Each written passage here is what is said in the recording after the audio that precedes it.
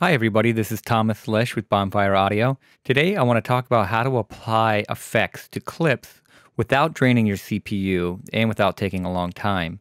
This is something I've been doing for quite a while now, and I, I haven't seen anybody else really discuss how to apply effects to clips and at the same time take into consideration the fact that you may need to be doing this several times, dozens of times within a long project, say a feature film or a long episodic series. In this case, I'm going to show you an example that I have in a session for a client of mine that is a reality TV show. There's several reasons why you might want to do clip effects. It could be applying EQ, and it may not fit a bus or a send where it's sort of a generic setting and you're sending several tracks to it and it sort of is a happy medium. So if you need to apply EQ to fix a dialogue track or a certain level of compression or reverb or denoising, any combination of things.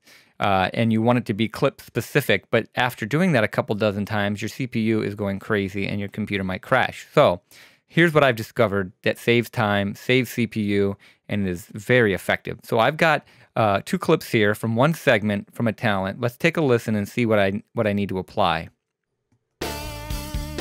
Okay, so we have our GM colors from back in the day, a Nissan in there, Subaru. But right here we have our Corvette Orange Flame on this, 75 to 76. So the room tone is not horrible coming from the computer, but uh, and especially being a reality show, this really wouldn't be that big of a problem. But if this was a cinematic piece for film or a television episode or so forth, where this sort of run and gun type of production is not as acceptable, then I would want to clean up the audio in the background a little bit and bring some bring down the noise floor some. So let's take a, a listen just soloing this.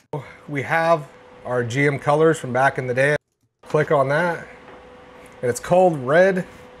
So it's it's a consistent sound. I've already taken care of the volume, and I've got the volume where, where I want it for these two clips. So let's apply a little bit of denoising. There's a couple ways you can do it. As you probably know, you can go in here into the uh, the spectrum analyzer and go ahead and pull things out and denoise and auto heal. But I, I like to use iZotope's denoiser. It's a very effective plugin. So first of all, I don't want to apply it to two separate clips. I want to apply it to one clip. So because I've got the levels where I want, I can go ahead, highlight these two clips, right click and merge. Now I've got one. Now also because once I bake in the clip effect, it will be a destructive form of editing, I want to keep a backup of this in case I need to start over, the client's not happy, or I want to change things down the road. So to do that, I'll just copy, paste it down here on another track, and I will mute this one. So now I've just got this, but I've got a backup just in case. So I'll go ahead, select the clip now that I want to apply the processing to and the effect. Make sure I'm on clip effects. I'll go ahead and grab my iZotope product here. I'm going to use the RX5 denoise. I'll just go ahead and do a generic auto setting uh, because I'm not worried about dialing it in perfectly right now. I just want to use, for example, an effect on this clip. Okay, so we have our GM colors from back in the day, a Nissan in there, Subaru. But right here we have... Even with that auto setting, it is quite a dramatic difference. Here's without it. Okay, so we have our Okay, so we have. Excellent. I'll go ahead and just take a listen with the music in the background. Okay, so we have our GM colors from back in the day, a Nissan in there, Subaru. I love it.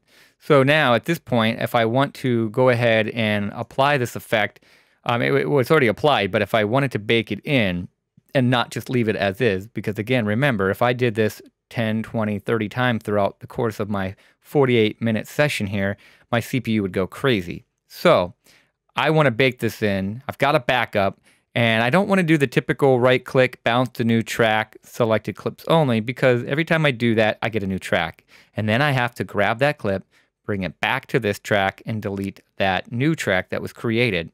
Or I end up with a just a messy session and too many empty tracks. So I don't need to do that. So all you really have to do is take your razor tool, snip that, that clip somewhere, anywhere, highlight those two, and it's as simple as merging them once again. I now have this new clip with the effect baked in. You can see it removed the effect, and I've got my backup. So let's take a listen. Okay, so we have our GM colors from back in the day, a Nissan in there, Subaru.